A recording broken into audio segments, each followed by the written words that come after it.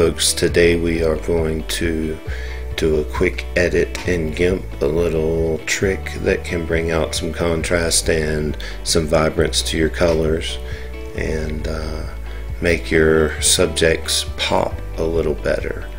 So if you don't have GIMP it is a free open source photo editing software. Um, just go online and navigate to gimp.org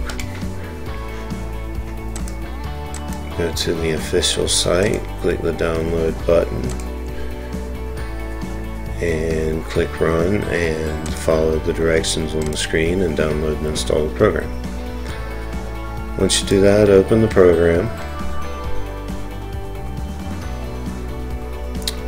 And there's several ways you can load images but usually I'm scrolling through a huge folder of images and I find one so I just click on it and hold down my uh, left mouse button drag it down to GIMP then back up into the canvas area and let go and load the image.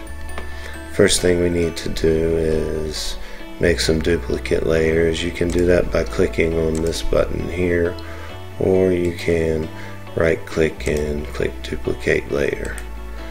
So we want four layers in total. Uh, we want to make sure that this layer is selected by clicking on it and you can see it highlights.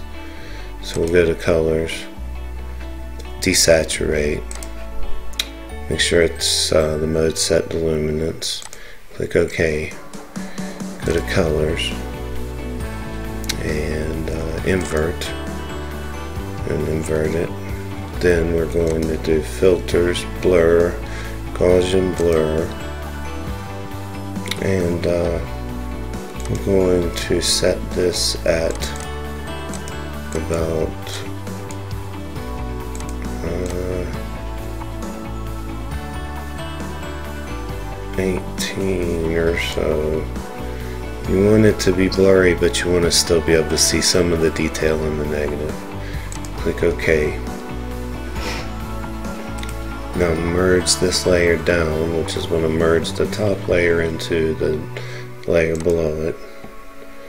Now set the mode for this layer to burn. Okay, so now what we do to soften the effect is lower the opacity. Zoom in a little bit. And when you're doing these edits it's really by eye what looks good to you. So you know each one's going to be different the settings. You can also set the modes differently like overlay and see how that looks play with the opacity or multiply Again, move the opacity around and see what you like. Uh, burn usually works pretty good for these bright landscape photos. So let's uh, that's the before and after. Okay, so let's go ahead and merge this layer down. Merge these top two layers. I'm going to make a couple other slight edits to it. Uh, we want to bring out some of this browns and reds. So to do that we'll lower the temperature a little bit. Oh, right there. Click OK. And I want to uh, lighten up this background and bring out uh, more contrast. So lighten the, sh the shadow and highlights a little.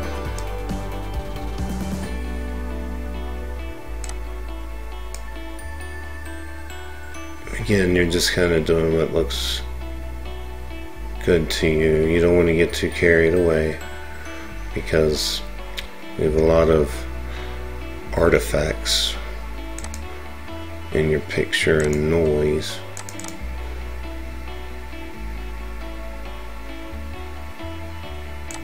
Click OK. Um, fiddle with the brightness and contrast and see if we like what we see. Yeah, bring that out a bit. The contrast up just slightly. OK. So there's before and there's after. So now to save this, uh, there's a couple ways you can save. You can save as a XCF file, which is a GIMP file that you can come back into and reverse some of these edits or add to them or whatever you need to do. Or let's go ahead and delete this layer because we don't need it. We were just using it so I could compare the before and after. We can export as many different files. We can change this to PNG, um, the WebP files, any, just about any file, uh, PDF, uh, however you need to do it. We're going to save this one as meta.jpg. That's the easiest one for you to use to upload to your Facebook or Instagram account.